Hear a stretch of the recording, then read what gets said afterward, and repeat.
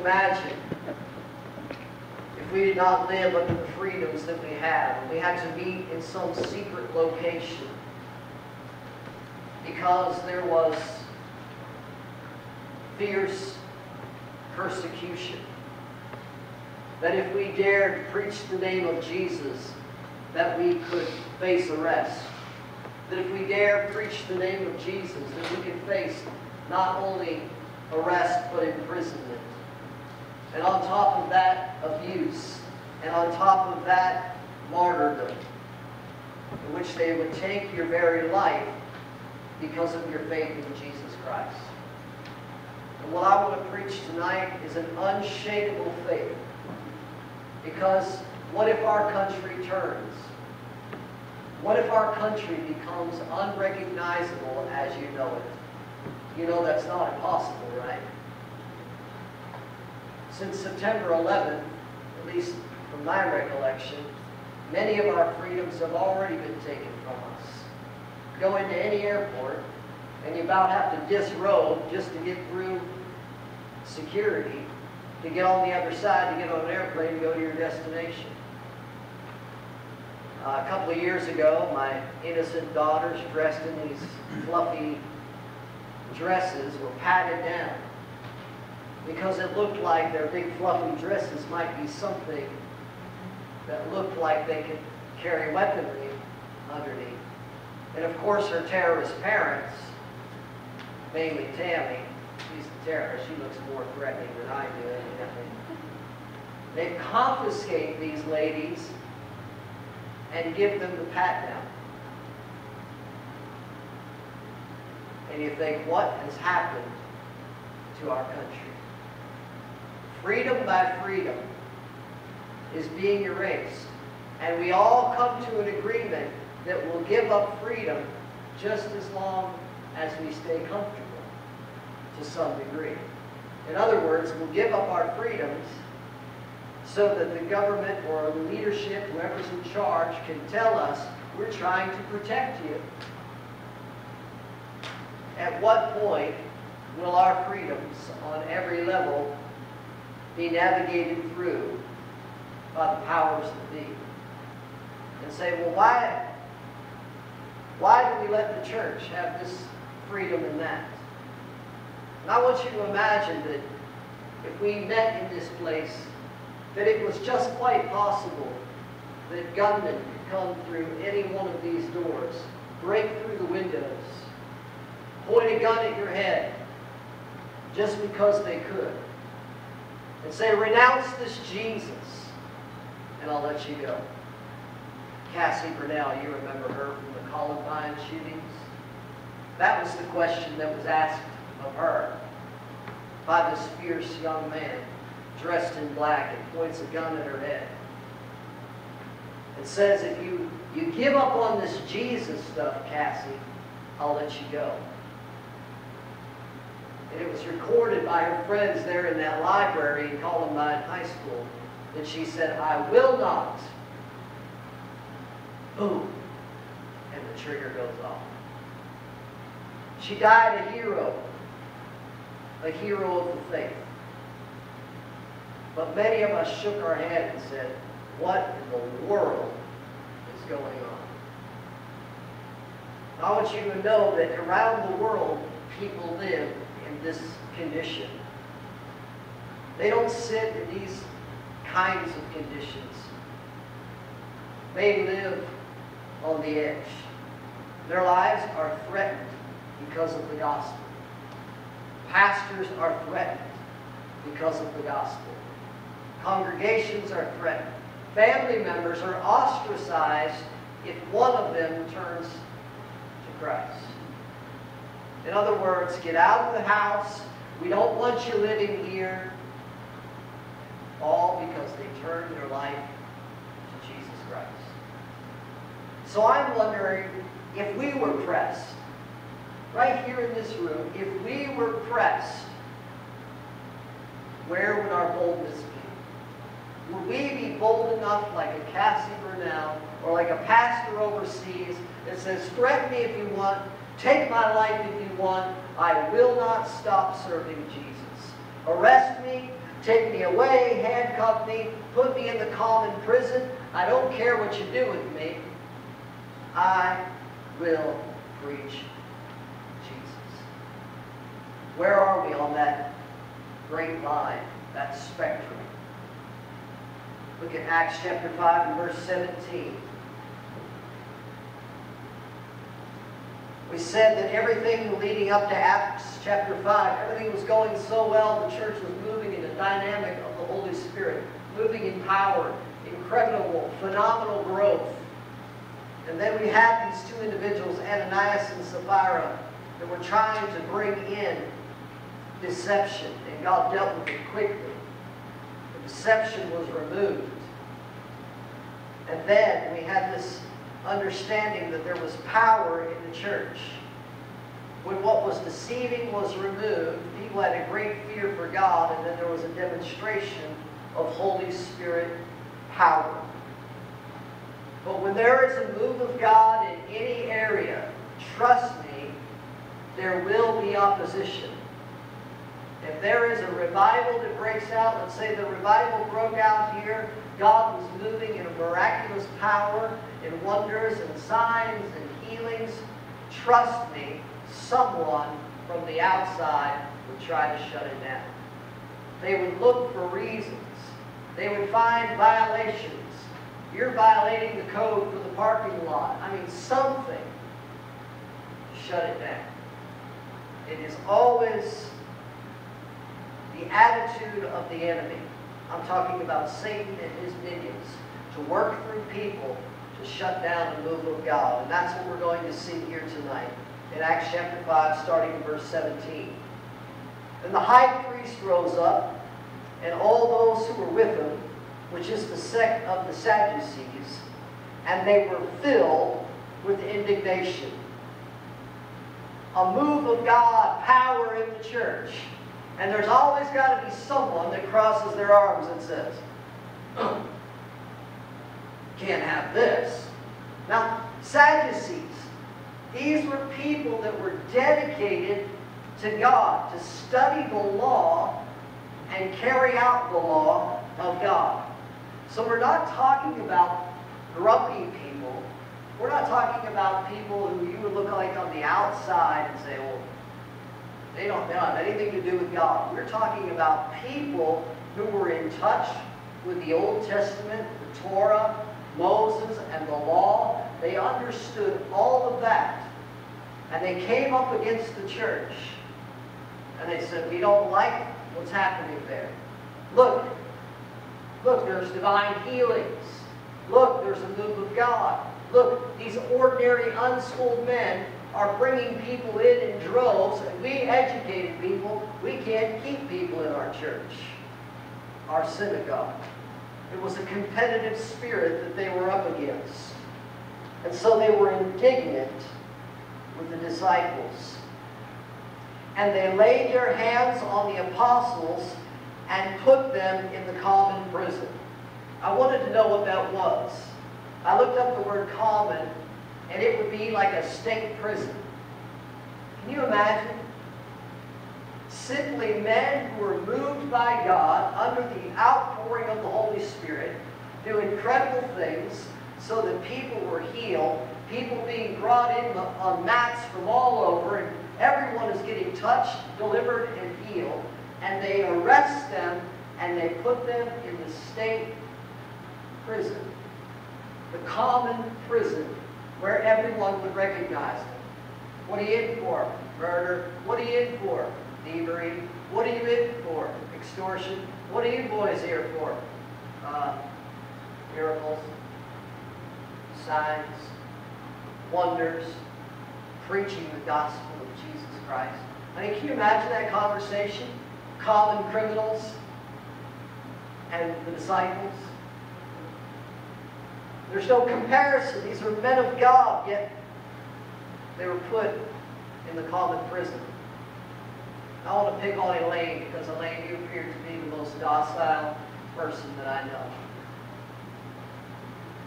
Can you imagine putting you in the regular population at the jail?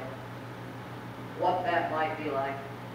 I mean, you glow with the presence of God. I've been to the prison, I want you to know. There are some people with an attitude, and they look mean. They look like they want to eat you for lunch. You understand what I'm saying? Could you imagine her being in with the regular folks? I mean, wouldn't it be odd to see her there? I think so. Maybe so. But that's, that's what it was. Ordinary, unschooled men, fishermen, tax collectors, everyday professional folks in the common prison. In for doing miracles.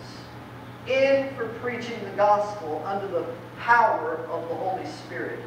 Peter, the guy whose shadow fell on people and they got healed. In with the common criminals. You think, wow, this is really something else. Verse 19, but at night,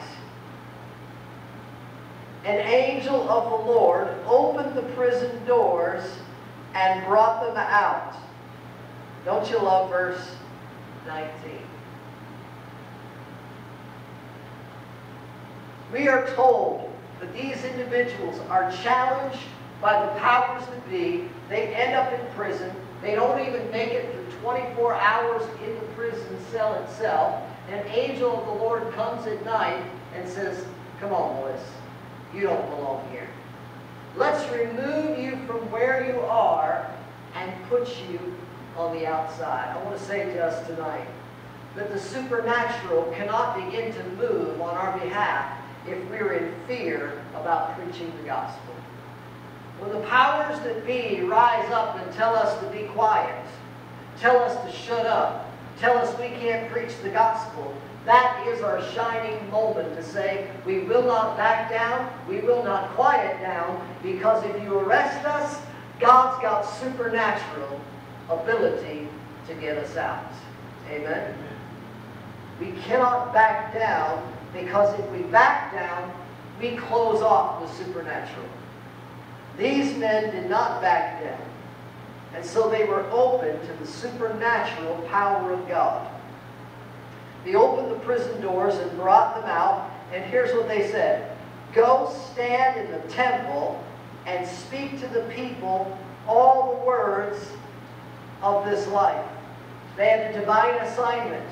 Not only are you let out of prison, not only do you get the get out of prison free card, go preach in the temple. In other words, the temple was where the, the Jewish people met. So they're assigning them to go back into the lion's den, if, if you can understand that. I'm sure they would have much rather dusted their feet, like Jesus told them. When they don't hear you, dust your feet, go on to the next town. I'm sure they were thinking.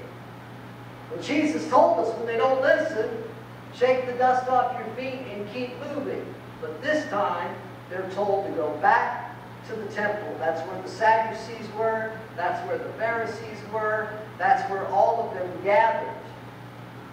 And so it was that when, verse 21, when they heard that, they entered the temple early in the morning. I love that aspect. They didn't wait till lunchtime. They didn't shuffle their feet, all nervous. Oh no, what are we going to do? Uh, maybe we'll have a nighttime service. They go early in the morning. First thing. And get that in your spirit. When you obey, obey quickly. Get there as early as you can. And when they heard that, they entered the temple early in the morning and taught. But the high priest and those with him came and called the council together with all the elders of the children of Israel and sent to the prison to have them brought. So they're meeting in a, a closed room somewhere. They're teaching at the temple. They already have an audience early in the morning. The council, the Pharisees, the Sadducees, they have no idea that they're at the temple. And so they're calling a closed door meeting somewhere else in the facilities. And so it is in verse 22.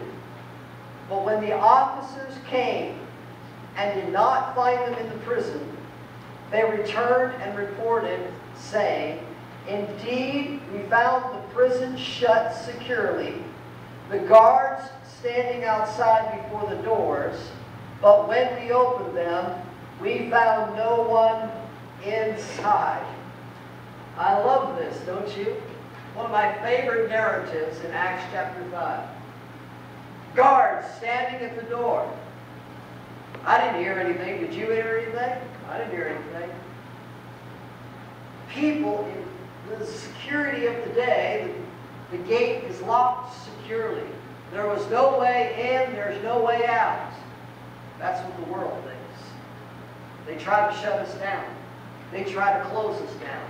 They try to say that we can't do something. And I know that I've told this story before, but I want to tell you again. I asked permission to go down here to the park and have meetings with Carl Harris a few years back. The powers that be in this town did not want us to have a tent meeting. They just did not. A friend of mine was in that meeting. And he said they were talking and they were talking and they were convincing each other for all the reasons why they weren't going to give you permission to set up a tent in the park. Now the park is public domain. All you need to find out is if anyone else is using it that day. If no one else is using it, generally you get a green, you get a pass. You're allowed to use it. That's the only town. But they hemmed and they hawed and they came up with reasons. And there was one man spoke up on behalf of this church. And he said, listen, I, I, I live right next to the park. And this town does all sorts of events down there in the park. And sometimes I'm bothered by the noise created by whatever you do at that park from this group to that group to this group. And I want to tell you, that church is going to be no louder than any of the other groups you have down there. So if you cancel the church, you're going to have to tell all the other people no. Now what's it going to be? And we had divine favor. And we had a green light. They all changed their mind. And suddenly we were allowed to set up in the park. That just shows you, on some level, what we're up against. That there are powers that be that don't want the gospel preached in an open air. Do it over there on your property all you want. Don't come over here on ours. That is the standpoint in this community. And we recognize that God is up to something. He begins to move things around and begins to do the supernatural. They could not find the men. Why? Because the angels got them out. Look at verse 24. Now when the high priest, the captain of the temple, and the chief priests heard these things, they wondered what the outcome would be. Huh. I wonder what happened to those boys. I wonder where this is going to go. We were all ready to have court. We were ready to shut them down, and now we don't know where they are. I mean, they must have looked like a bunch of buffoons. They had no idea where the people were that they had just put in prison. This guy's blaming that guy. That guy's blaming this guy. And they're, nobody. They look like fools. And that's exactly what will happen if you don't really trust God. You'll be, begin to make to look like a fool. And that's what happened to these men. So verse 26. Some, so one came and told them, saying, Look, the men who you put in prison are standing in the temple and teaching the people. Then the captain went with the officers and brought them without violence, for they feared the people, lest they should be stoned. So this time they're being a little more reverent. Oh, uh, gentlemen, would you come with us? We would like to talk to you. And they're trying not to take them by force and by violence because now the people are starting to believe them in their own temple. It's one thing if you're having a service over there, but go in their territory and start preaching in their temple, And now you're winning over converts in their own temple. Can you imagine such things? They feared being stoned by their own people if they removed them violently. And when they had brought them, they set them before the council, and the high priest asked them, saying, Did we not strictly command you not to teach in this name? And look, you filled Jerusalem with your doctrine, and to intend to break this man's blood on us. My question tonight is, what would you do? One, you've been arrested. Two, you've been in the common prison. Three, you've seen the miraculous power of God delivering you. Four, you're on divine assignment. And now they come and they threaten you behind closed doors. They wouldn't threaten you in public, but now behind closed doors they tell you, we strictly told you not to talk about this Jesus anymore. And now you intend to bring their blood upon the blood of that man, referring to Jesus, on us. We strictly told you not to preach in this name anymore. What don't you get, boys? What would you do? Would you stand up for righteousness? Or would you buckle under the weight of a society that's trying to silence you? And I believe that there are many people that are not filled with the Holy Spirit. They are churchgoers. They are church attenders. But they have not the Spirit. If you have not the Spirit, in these kinds of moments, you will fold. But if you have the boldness of the Holy Spirit, these threats mean nothing. Look what he says. Peter does. He responds, verse 29. But Peter and the other apostles answered and said, We ought to obey God rather than men. The God of our fathers raised up Jesus, whom you murdered by hanging on a tree. Him God has exalted to his right hand to be Prince and Savior, to give repentance to Israel and forgiveness of sins. And we are his witnesses to these things, and so also is the Holy Spirit, whom God has given to those who obey him. He begins to preach Jesus. He begins in their own face. Boys, we told you not to preach in this name. And what does he do? He gets right in their face and starts to preach to them in the name of Jesus. That's either crazy or that's the boldness of the Holy Spirit. Now, if you're in or preaching about Jesus and they tell you to be quiet about Jesus, you probably wouldn't bring up Jesus in front of them. But Peter doesn't care. Put me in the common prison. I don't care. I'll get out again. Keep arresting me. If God wants me out preaching, there ain't no prison that can keep me down. I, don't think you can get yourself in that position without the Holy Spirit. Yeah. That's what I, I was saying earlier. If you don't have that boldness, you're not going to get in trouble. And then you're not going to be arrested. And then you're not going to need to demonstrate that power. Exactly. The power of the Spirit that got you there gets out of it. Exactly. Exactly right. Well, that's where I'm asking. Because I believe that in this age, probably in the not too distant future, we're going to see a major collapse on the church. I think we're going to see more freedoms taken from us. And I think we need to respond. Not politically, but with boldness.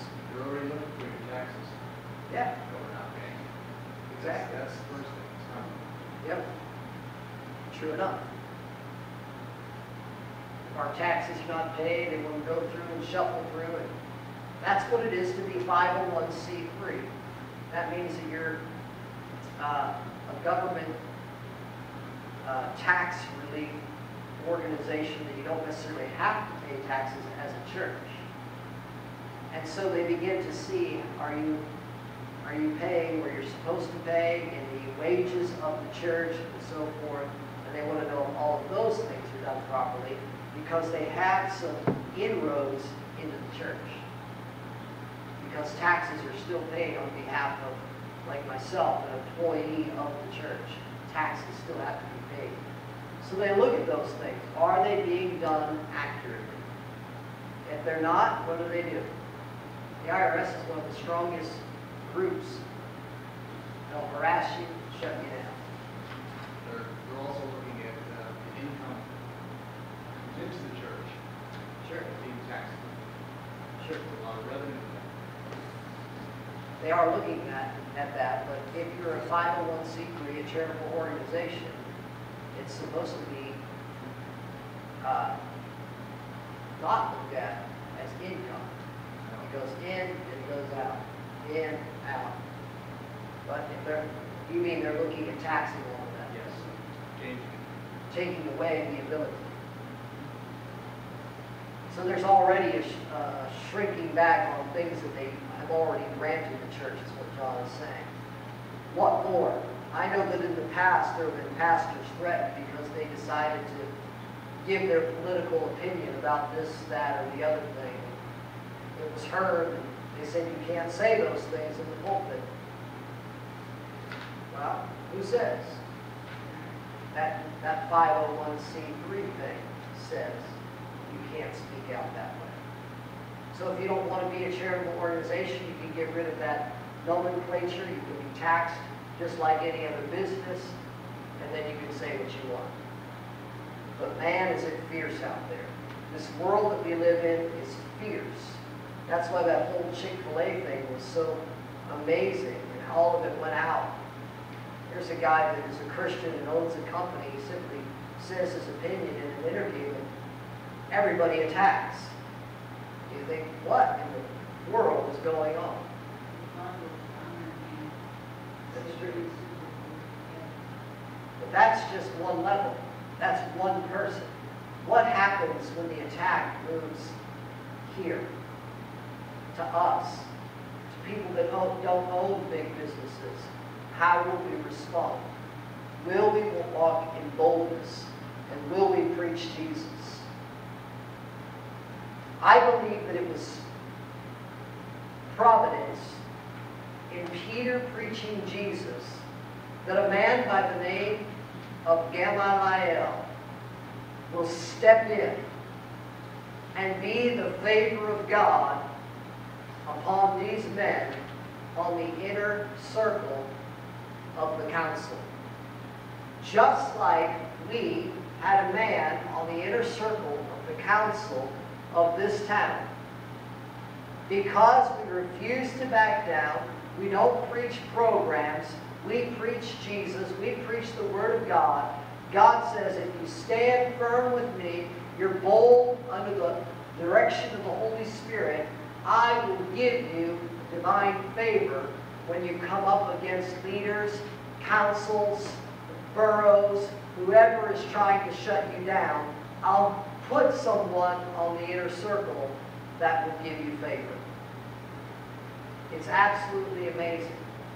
These things are already happening. I don't want to release names and so forth, but I know that God has given us favor with certain leaders. It's just the way God operates when you preach His truth and you are unshakable. Verse 33, we're going to hear from Gamaliel. Here is the council's response. When they heard this, they were furious and plotted to kill them. Now, we're, remember, we're talking about the inner circle of Israelites, God-fearing people who love the law of Moses, are plotting to kill Peter and the bunch who are preaching Jesus. Can you imagine what rage they must have had when they're willing to kill? Now, these were the same men that sentenced Jesus to death on the cross. These were the same men that went after the Roman system and said, you have to kill them, we can't. And Rome obliged. And they put Jesus up on that cross. Same guys, same demented theology, same mindset, They rejected Jesus, therefore they rejected the disciples.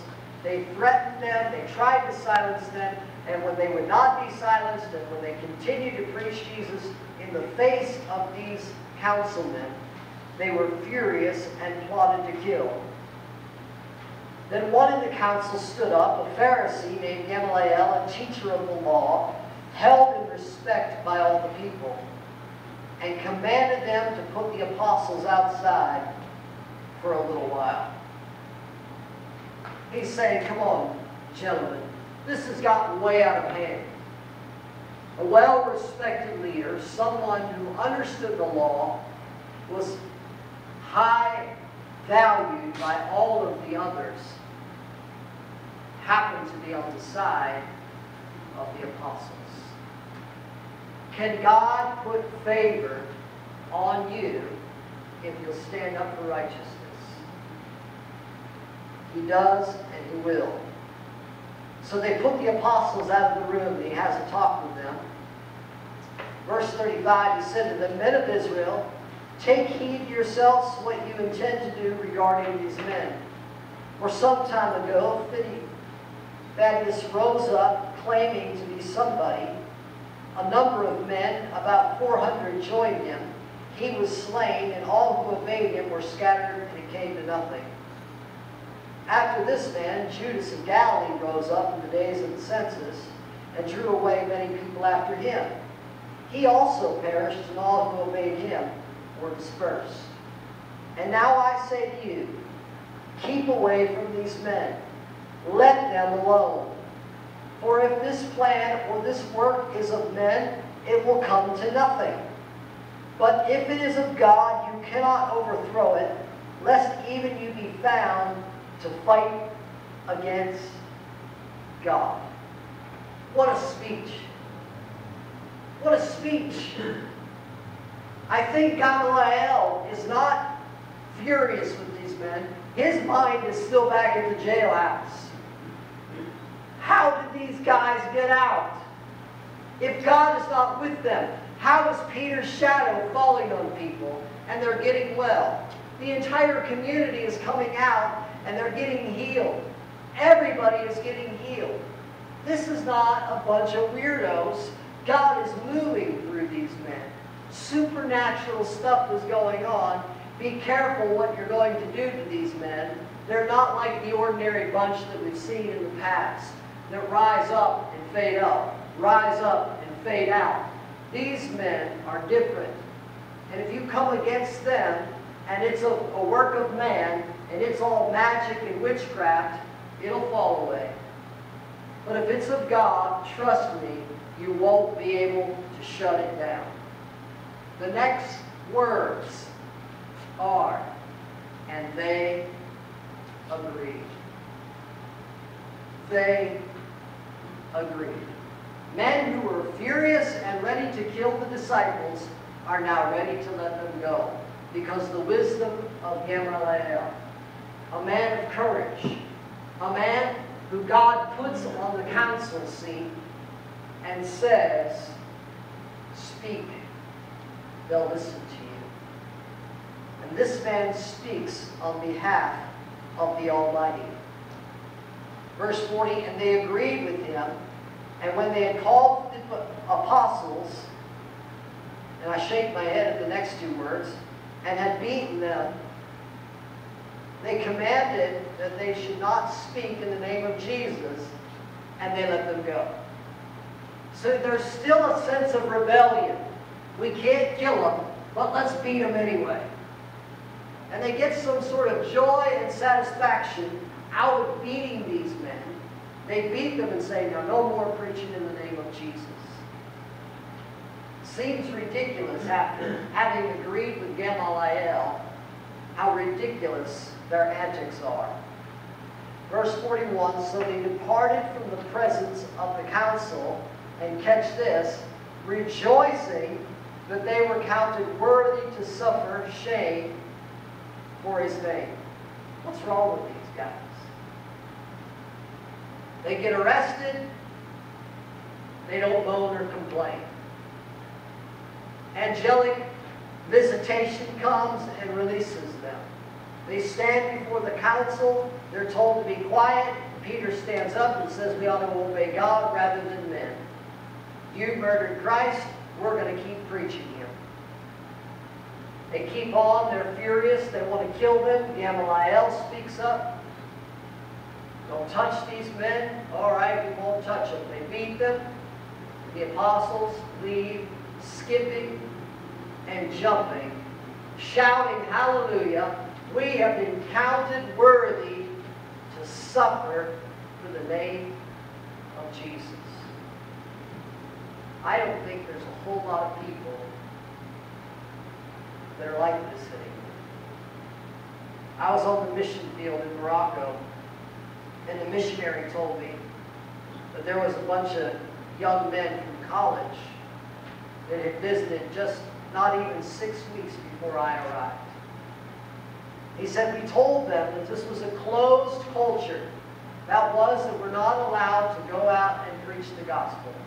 He said, I could not get it through to these men. They would not listen to me. I told them they couldn't go out. You know what they did? They went out and preached anyway. He said, I had these college kids out there preaching on the street, sharing their faith. Miracles are happening, signs and wonders. And I said, I can't shut this down. He said, I went back to a cafe to get something to drink. And while I was at the cafe, all of my college students were arrested and put in jail. He said, oh no, now I got to call their parents. My college students have been arrested. They're probably crying in the common prison. He gets to the prison house and they're singing songs and they're rejoicing because they were counted worthy to suffer for the name of Jesus. Now that is something to admire. The missionary was able to articulate what was going on. They released them from prison with a warning, no more of this evangelism. Say, it's the same thing. Threats. Shut it down. Be quiet. Don't talk about this Jesus. We'll put you in prison. I admire the attitude of those young men who would be willing to put their lives on the line and go to prison for preaching the gospel of Jesus Christ. And then have the audacity to rejoice behind bars. I think they just believed that the prison doors might shake open if they praised long enough. I think that they actually read their Bible and had heard stories of Paul sitting in prison, singing glorious praise and thanksgiving to God. An earthquake happens, their chains come off, and Paul starts preaching to the jailer. It, you can't, you can't script this. These are real life events. These are real people. These are not fantastic heroes just written to encourage us or to make us look bad.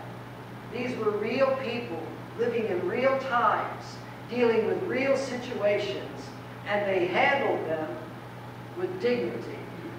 They handled them with amazing audacity and boldness.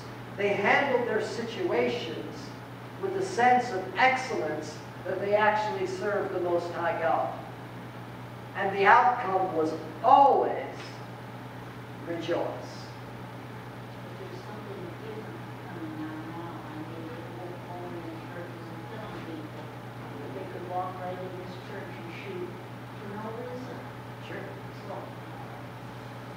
our bravery has nothing to do with this. Right. We have a choice. It's true. It is a different kind of crime, isn't it? This was very public, this was drag them in, interrogate, threaten. You're right, it's different. If a gunman walked in here, he's not asking questions. He's just shooting because he's violent, because he has a, a vendetta, he's whatever. People quit going to church then, that's why I wonder. What? Would you keep coming? That's the question. That's a good question. If a shooting happened here this Sunday, would you all come back on Wednesday? would you all come back next Sunday? Or would fear grip you to the point where you say, ain't going back there? Because now, the innocence is lost.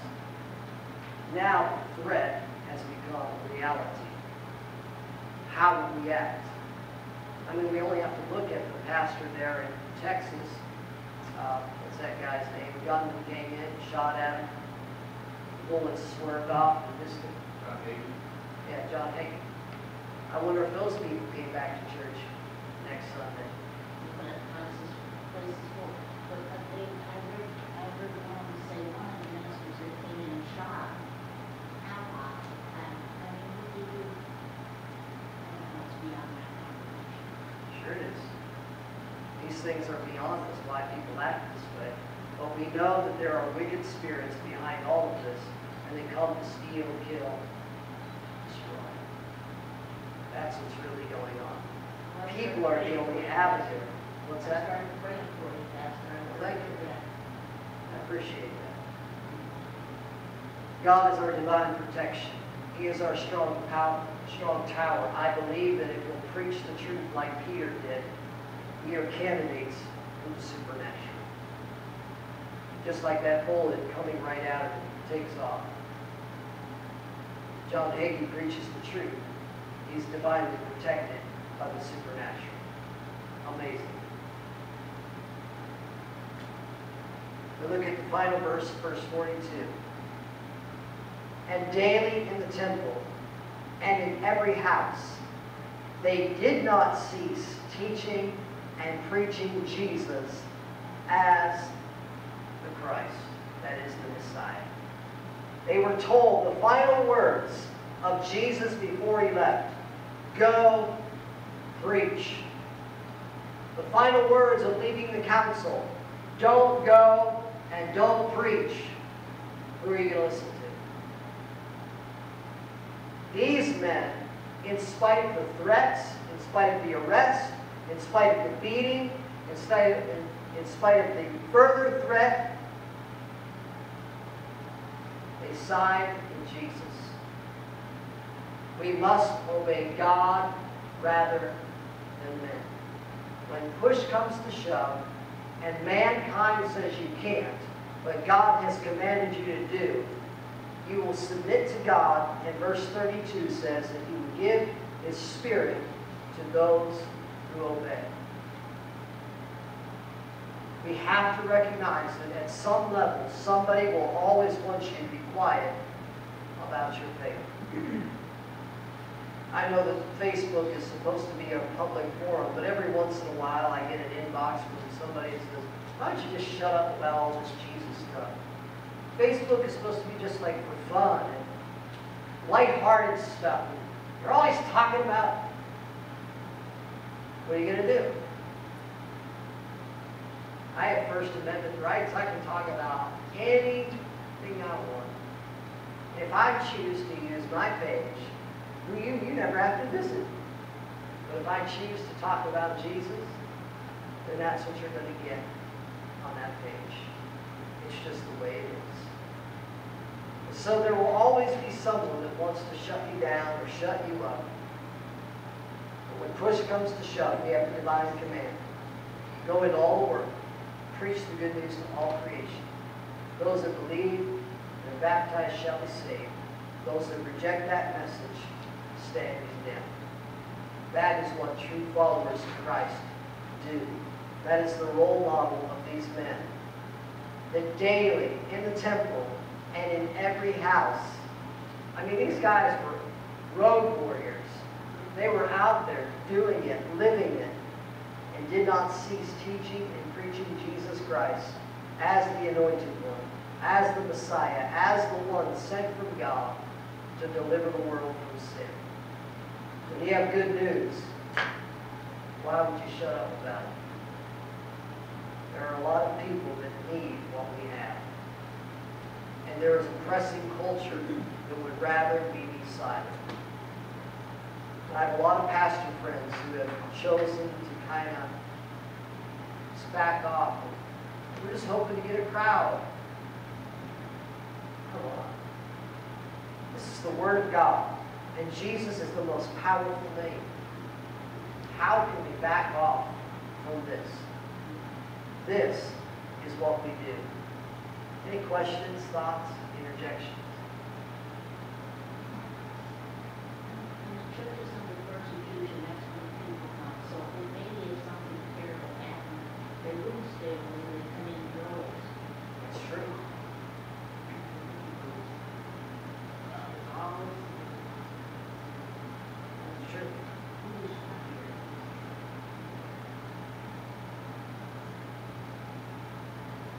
Let's close in prayer tonight. Heavenly Father, I do thank you for your powerful word. I thank you for dynamic men who are led by your Holy Spirit, who teach us what courage really is. That when faced with threats, they stand in you. When faced with prison, they stand in you.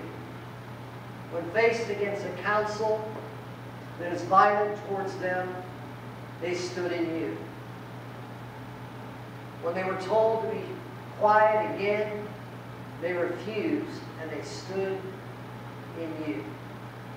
Father, I'm challenged by this. I'm challenged by their courage. I'm challenged by their strength tonight. And I pray that we all gathered here tonight and look at this as an example of people who are sold out, who are filled with your Holy Spirit, and who walk in accordance with your divine and plan. But we also long to be those kinds of people, sold out for your divine will, ready to speak, ready to live, ready to respond and act in accordance with your divine will. Teach us, Lord, to listen. Teach us to hear what your Spirit is saying and respond accordingly. From the depth of our heart, out of the abundance of our heart, our mouth would speak with clarity, with power, and boldness by your Spirit. And we ask this accomplished in the mighty name of Jesus, the strong Son of God. Amen and amen. Praise God. God is good, isn't he? Yeah.